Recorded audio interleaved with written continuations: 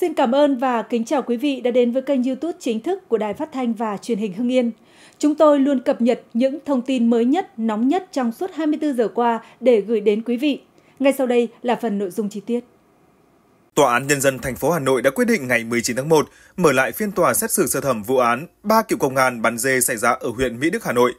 Trước đó, ngày 12 tháng 10 năm 2023, Tòa án Nhân dân thành phố Hà Nội đã mở phiên tòa sơ thẩm. Tuy nhiên, do vắng mặt bị hại và nhân chứng, nên hội đồng xét xử đã quyết định hoãn phiên tòa. Các bị cáo gồm Nguyễn Văn Nhân, cựu đại úy, Bùi Đình Việt và Bùi Tiến Tùng cùng là cựu thượng úy. Họ chịu cáo buộc bắn chết dê của người dân hồi cuối tháng 6 năm 2023. Cáo trạng thể hiện, vào trưa ngày 26 tháng 6 năm 2023, các bị cáo Nguyễn Văn Nhân, Bùi Đình Việt và Bùi Tiến Tùng đi ô tô mang theo một khẩu súng hơi vào khu vực núi Màu Gà, thôn Ái Nàng, xã An Phú, huyện Mỹ Đức để bắn chim. Họ sau đó lại bắn chết hai con dê vì cho rằng là dê núi. Người dân khi phát hiện việc này đã chặn ba người cùng chiếc ô tô lại để yêu cầu cơ quan chức năng đến giải quyết. Hôm sau, cơ quan cảnh sát điều tra công an thành phố Hà Nội đã ra quyết định khởi tố vụ án tạm giam cả ba bị cáo.